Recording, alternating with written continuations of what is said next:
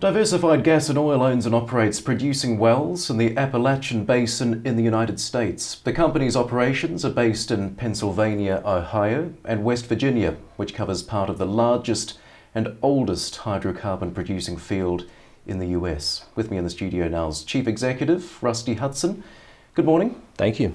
Rusty, first off, tell me a bit more about the Appalachian Basin. Why is it an attractive place for you to do business? Well, the Appalachian Basin is the oldest producing region in the U.S. Uh, currently produces one third of the natural gas production in the whole country. Uh, has a real abundant infrastructure for takeaway for gas um, and makes it a real attractive place to uh, do business. In terms of diversified gas and oil, how long have you been around? 16 years now. I started the company from scratch back in 2001. Uh, and we've grown the company now pretty steadily over a 16 year period. In terms of production, what targets are you hitting at the moment? What levels? We're hitting about 4,700 uh, barrels of oil equivalency per day, or about 28,000 MCF equivalency per day. And you're profitable? Profitable, cash flow positive. So today's your first day listing on the AIM market. You've Correct. raised $50 million. Yes. Why did you choose AIM first of all? Yes, so two or three different reasons. Number one, it's really not our first foray into London as we listed a bond back in 2015 and raised capital through that debt instrument. Uh, secondly, was the type of institutions that were available to us on AIM versus a comparable market in the U.S. Um, and thirdly, we felt like we differentiated ourselves from all the other companies and were a unique investment opportunity on London AIM. You say you're a unique investment opportunity. It's probably worth just spending another moment on exactly why. Can you run me through some of the uh, some of the detail there? Yeah. So, you know, com most companies that are looking to uh, list on AIM typically are looking to raise money for a drilling prospect.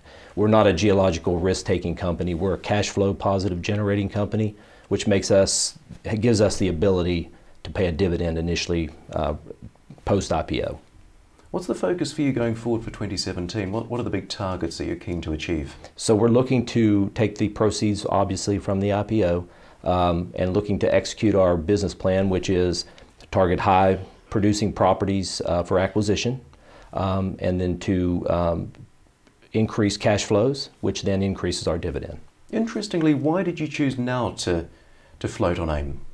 We saw a lot of opportunities in the market uh, that we needed access to capital to execute on um, that we felt like were going to be a, very short window at the, as, at the present time um, to, available to us and we felt like we needed to get the capital raised now so that we could execute that. And as we mentioned, you've raised $50 million, clearly a strong showing of support here from investors.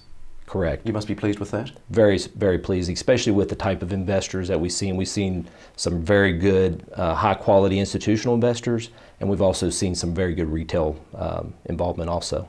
Tell me a bit more about yourself. You did say right at the start that you've been with the company for uh, 16 years? 16 you started years. it, you're the yep. founder. Correct. Prior to Diversified Gas and Oil, tell me a bit more about your history there. Yeah, so I spent 13 years in banking, um, started this company while I was still working in banking. Um, I'm a fourth generation, so my great grandfather, grandfather, and my dad all worked in the Appalachian Basin in the oil and gas industry, and currently my dad still works for me. Probably worth just a final word from you on what is the most exciting aspect about diversified gas and oil from your perspective and for potential investors watching this? Why should they be as excited as you are about yep. the company?